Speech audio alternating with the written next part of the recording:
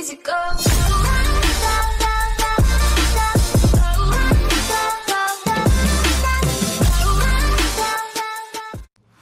Yo, what's going on guys? Hunter here, bringing you guys a brand new video. For today's video, we're gonna go over a really cool glitch I actually just found out yesterday in Zombies in Spaceland.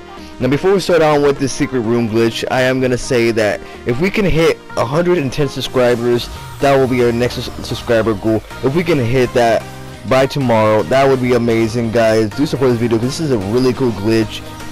As far as I know, I am the only one right now who actually post it, so I am the founder of this glitch. So if you guys do use it, please put me in the description of your video or put me in the title, whatever, whichever works for you. But anyways, guys, let's get straight into the video.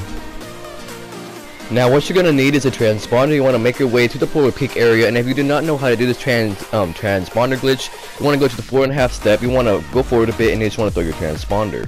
Now, once you're here, you just want to follow exactly where I do. You just want to go up this set of train tracks or tracks, whatever you want to call it, the roller coaster tracks.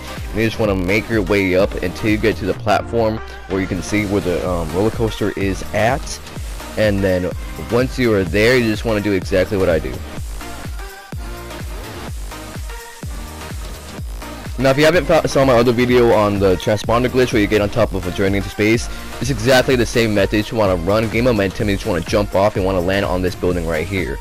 Now, that's basically it for the first step, and now let's go on to the second step. For the second step, you just want to jump off, you want to come in this little ledge right here, okay? So then after you're on this little ledge, you just want to walk over, and then you want to turn around, and you're gonna see the, right next to this big white blue, um big white ball right here you just want to kind of um, go across it and they just want to head down exactly do exactly what I do.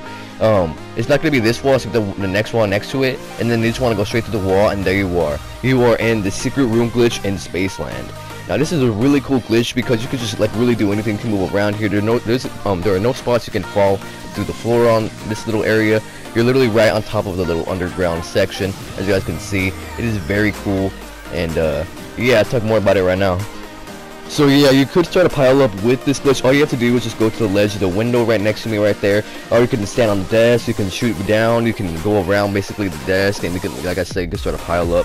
But that is really it for this. You can amaze your friends, show them how you got on top of this little secret room up here. Tell them it's part of an Easter egg or something, whatever you want to do. Tell them something. I'm pretty sure you control a few people. I'm actually gonna do this online. I want to see some people's reactions. I'm just gonna, I'm gonna have a blast tonight. Anyways, guys, it's been Hunter here. Remember the subscriber goal. Let's hit 110 subscribers. That would be amazing if we do. We are currently at, at the recording of this video. We're currently at 101, so we can hit nine more subscribers. That would be amazing. Um, show you guys support to the video by dropping a like, comment down below, and yeah, I'll catch you on the next one. Peace.